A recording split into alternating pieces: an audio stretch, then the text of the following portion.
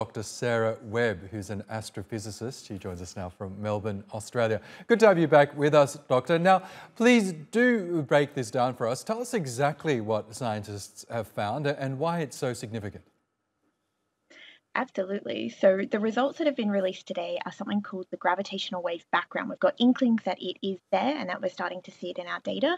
And what this is, is massive, absolutely massive ripples in space and time that can last years to decades from supermassive black holes orbiting around each other. So it's a brand new type of discovery that Einstein did predict with his general relativity equations, but that we haven't had firm evidence for as of yet. Yes, now also explain to us uh, exactly what uh, Albert Einstein's theory of relativity is and why this discovery goes a step closer to proving that. Yeah. So general relativity is probably the most successful scientific theory we have. It has been tested several times, and what it outlines is that our existence in the universe is in something called space and time. They are linked together. And what happens and what creates gravity is mass bending space and time, very much like if you stand on the middle of a trampoline and you get that little dip. That's essentially happening with all mass in the universe. Now, the amazing thing about space and time is that it's not static, it can move. And so, what we see with gravitational waves is energy being lost in distortions of this fabric. You can imagine jumping up and down on the trampoline and you get some ripples.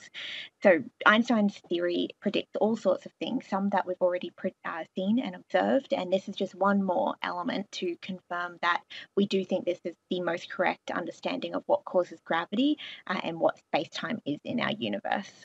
Yes, and Doctor, we know gravitational waves aren't new. Scientists have discovered them before, but these waves are different, aren't they? Because they involve, uh, quote, supermassive black holes as opposed to the normal ones. Is that right?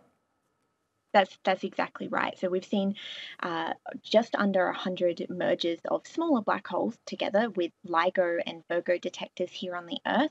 They're much smaller black holes and they merge very quickly. These gravitational waves are something we call low frequency. So they are absolutely enormous. They have very long uh, wave wavelength period compared to the other gravitational waves, and we don't detect them here on Earth. We use dead stars that are spinning, something called pulsars, timing those pulsars and when their beams hit the Earth to make a gravitational wave detector the size of our galaxy. That wouldn't be possible if we didn't have these uh, off Earth observations.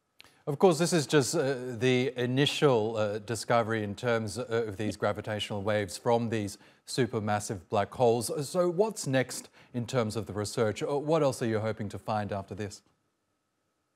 So there's many incredible teams all around the world who are working together collaboratively to try and get further results out of this. So to have a more significant, statistically significant um, calculation of this result in the coming years. And so what will be interesting is we're going to see more data reduction, more noise reduction in the data, and more observations. And then hopefully we will see uh, a further confirmation that what we have been observing for the last 15 years continues to be observed.